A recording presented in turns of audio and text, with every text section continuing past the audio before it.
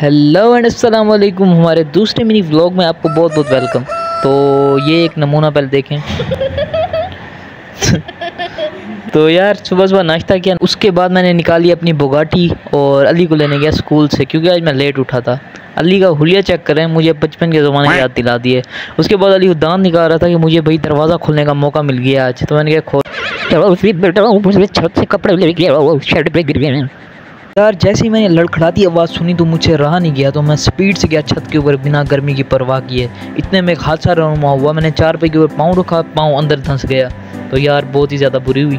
चलो, कोई बात नहीं। इस कहावत को याद करते हुए बड़े बड़े शहरों में छोटी छोटी बातें होती रहती हैं। मैं छत की दूसरी तरफ़ कूद गया शेड पे। वहाँ पहुँच के मैंने कपड़े उठाए और दीवार के उस तरफ़ फेंके, लेकिन मेरी कांपें टांग रही थी डर के मारे। लेकिन मैंने इसे इग्नोर किया और उसके बाद वापस क्रिश की तरह लपक के वापस आया। यार, वापस आया तो इतना फ़ख्र हुआ, इतना फ़ख्र हुआ जैसे मैंने कश्मीर को फ़तह कर लिया हो।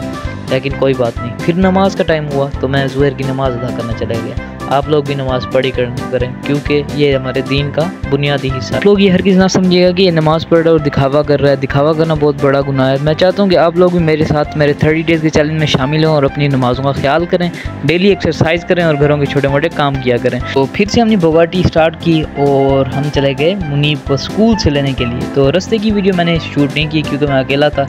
तो मुनीब को हमने स्कूल से पिक किया, उसे घर लेके आए और फिर से हमने अपनी बुगाटी को स्टार्ट किया, अली को ट्यूशन छोड़ने चले गए। कैमरा ऑन होता है तो अली की हरकतें भी शुरू हो जाती हैं।